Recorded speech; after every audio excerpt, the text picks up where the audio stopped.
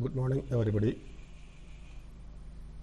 ഇന്ന് നമ്മൾ ഡിസ്കസ് ചെയ്യാൻ പോകുന്നത് എൽ ഇ ഡിയുടെ ഡിഫറെന്റ് ടൈപ്പ് കളേഴ്സിനെ കുറിച്ചിട്ടാണ്.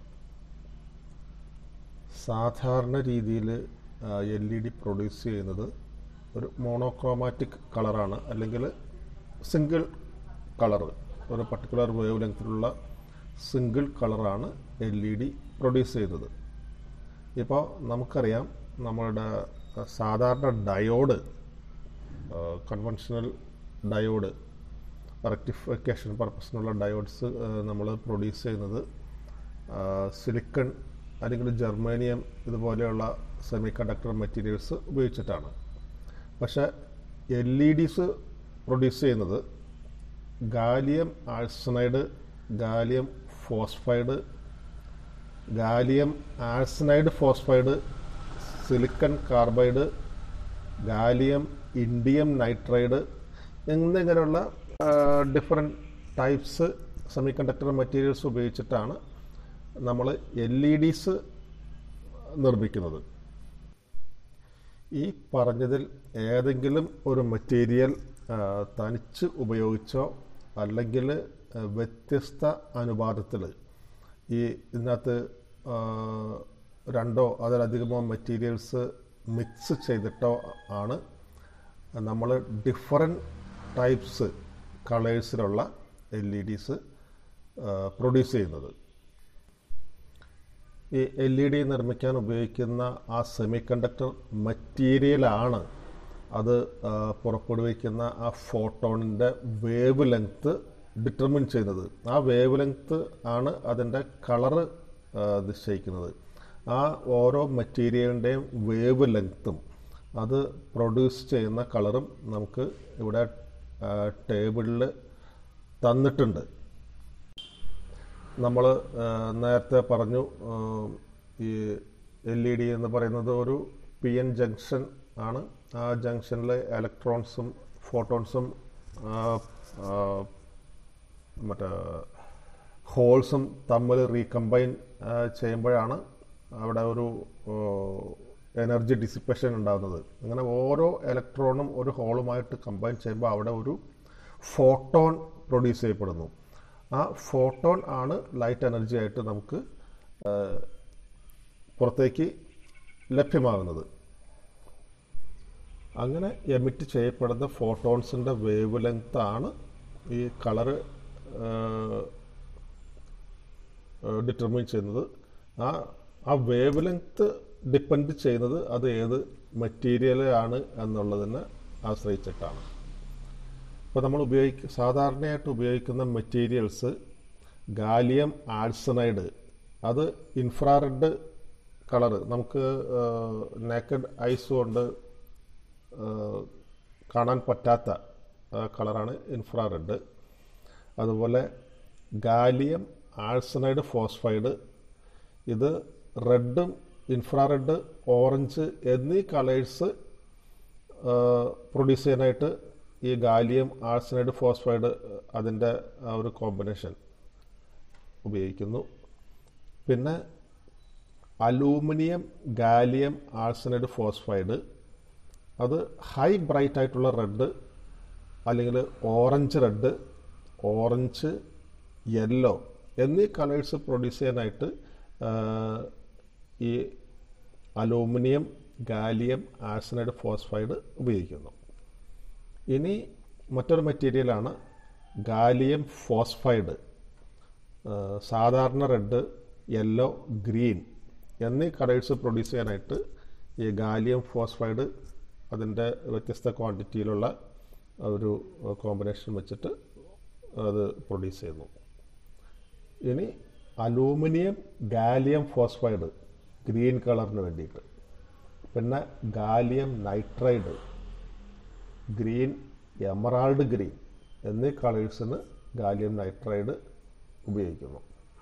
പിന്നെ ഗാലിയം ഇൻഡിയം നൈട്രൈഡ്. ഇത് അൾട്രാവയലറ്റ് പോലെ തന്നെ അല്ലെങ്കിൽ അതിനോട് തൊട്ടടുത്ത് നിൽക്കുന്ന ഒരു ബ്ലൂയിഷ് ഗ്രീൻ അല്ലെങ്കിൽ ബ്ലൂ ആയിട്ടുള്ള ഒരു കളറ് പ്രൊഡ്യൂസ് ചെയ്യാനായിട്ട് ഉപയോഗിക്കുന്നു.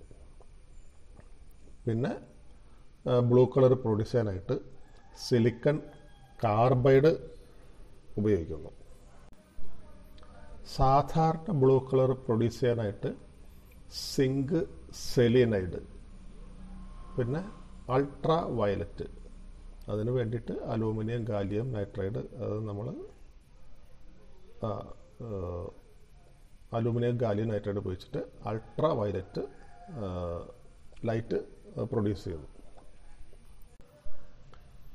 ഇപ്പോൾ നമ്മൾ കാണുന്ന ട്രാഫിക് സിഗ്നൽസ് അല്ലെങ്കിൽ അതുപോലെയുള്ള മറ്റ് സൈൻ ബോർഡ്സ് ഇങ്ങനെയുള്ള ആപ്ലിക്കേഷൻസിലൊക്കെ ബ്രൈറ്റ് കളേർഡ് ആയിട്ടുള്ള എൽ ഇ ഡിസ് ആണ് ഉപയോഗിക്കുന്നത് റെഡ് ഗ്രീൻ അല്ലെങ്കിൽ മറ്റ് പലതരത്തിലുള്ള ബ്രൈറ്റ് കളേർഡ് ആയിട്ടുള്ള എൽ ഇ ഡിസ് ആണ് ഉപയോഗിക്കുന്നത്. പക്ഷേ നമ്മളുടെ ജനറൽ ലൈറ്റിംഗ് പർപ്പസിന് നമ്മുടെ വീട്ടിലോ സ്ഥാപനങ്ങളിലൊക്കെയുള്ള ജനറൽ ലൈറ്റിംഗ് പർപ്പസിന് നമുക്ക് വേണ്ടത് വൈറ്റ് ലൈറ്റാണ്. അവിടെ നമുക്ക് ഈ പറഞ്ഞ റെഡോ അല്ലെങ്കിൽ ബ്ലൂവോ ഗ്രീനോ അങ്ങനെയുള്ള കളേഴ്സ് നമുക്ക് നമ്മുടെ ജനറൽ ലൈറ്റിംഗ് പർപ്പസിന് അല്ലെങ്കിൽ ആ റിക്വയർമെന്റ്സിന് വേണ്ടിയിട്ട് ഉപയോഗിക്കാൻ പറ്റില്ല.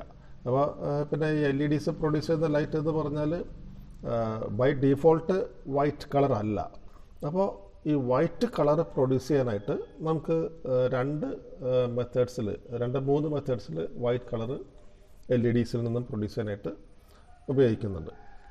ഒന്ന് ഈ എൽ ഇ ഡിയുടെ ആ സെമി കണ്ടക്ടർ കോട്ടിങ്ങിന്റെ അതിനോട് ചേർന്ന് അല്ലെങ്കിൽ അല്ലെങ്കിൽ അതിന് തൊട്ടടുത്തായിട്ട് ഒരു ഫോസ്ഫർ കോട്ടിംഗ് കൊടുത്തിട്ട്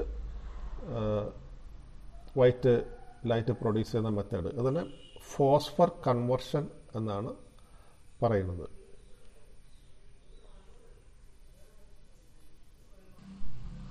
ഇതിന് കൂടുതലായിട്ട് ഉപയോഗിക്കുന്നത് ഷോർട്ട് വേവ് ലെങ്ത്തിലുള്ള ബ്ലൂ അല്ലെങ്കിൽ അൾട്രാ വയലറ്റ് കളറിലുള്ള എൽ ഇ ഡിസ് ആണ്. അതിൽ ആ ഒരു യെല്ലോ കളറിലുള്ള ഫോസ് ഫോസ്ഫർ കോട്ടിംഗ് നമുക്കറിയാം. സാധാരണ രീതിയിൽ അത് ഒരു യെല്ലോ കളറാണ് അപ്പോൾ ഈ ബ്ലൂ അല്ലെങ്കിൽ ultra violet L E D ഈ ഫോസ്ഫർ മെറ്റീരിയൽ കൂടി പാസ് ചെയ്യുമ്പോൾ അത് വരുന്ന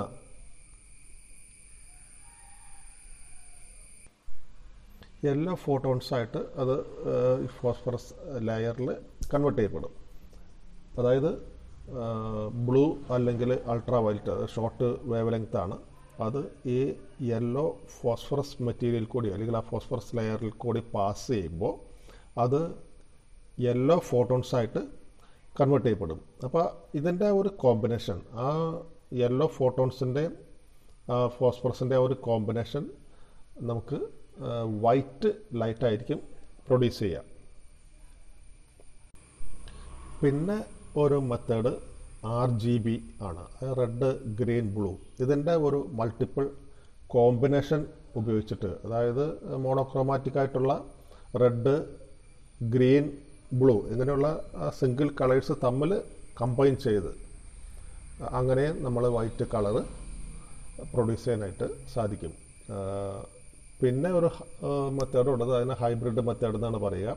ഈ ഫോസ്ഫർ കൺവെർഷനും ഈ ആർ ജി ബിയും ഒരുമിച്ച് ഉപയോഗിച്ചിട്ടുള്ളതാണ് ഹൈബ്രിഡ് മെത്തേഡ് ഇപ്പോൾ ഇതിൽ ഈ ആർ ജി ബിയും ഫോസ്ഫർ കൺവെർഷനും തമ്മിൽ കമ്പയർ ചെയ്യുമ്പോൾ നമുക്ക് കൂടുതൽ എഫിഷ്യന്റ് ആയിട്ടുള്ള വൈറ്റ് ലൈറ്റ് ലഭ്യമാകുന്നത് ഫോസ്ഫർ കൺവെർഷനിൽ നിന്നാണ്. എന്നുള്ള കാര്യം കൂടി ഒന്ന് നോട്ട് ചെയ്യുക.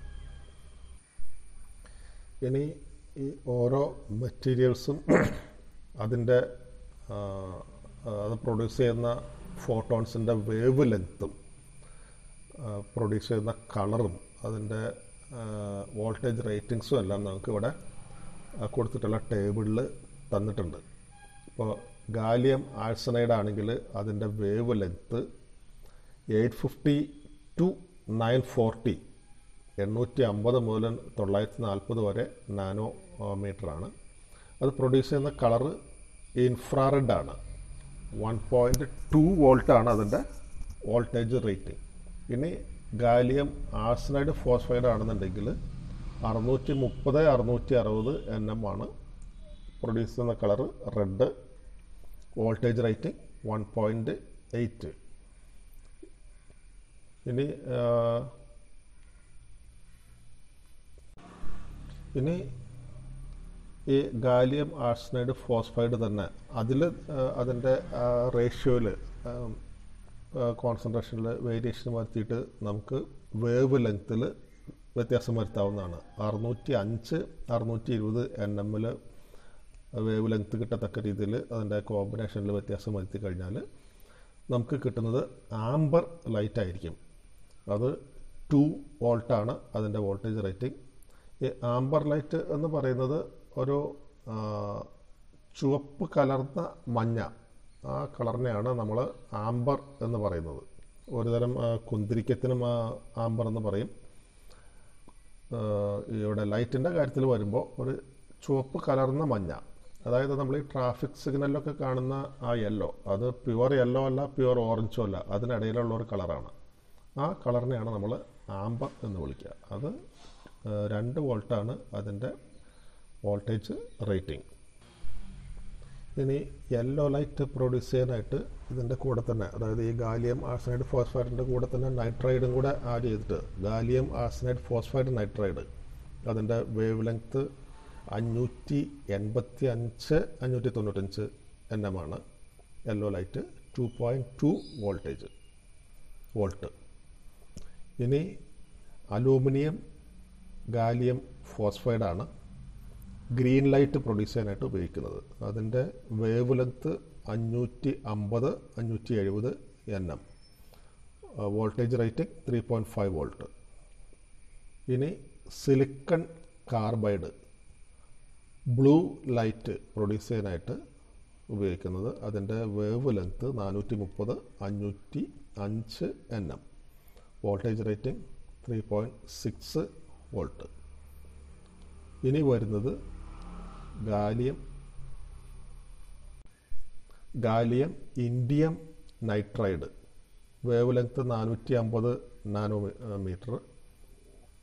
അത് വൈറ്റ് കളറ് ഫോർ വോൾട്ട്. ഇനി അടുത്ത സെക്ഷനിൽ നമുക്ക് എൽ ഇ ഡിയുടെ വോൾട്ടേജ് കറണ്ട് ക്യാരക്ടറിസ്റ്റിക്സ് പഠിക്കാം. Thank you.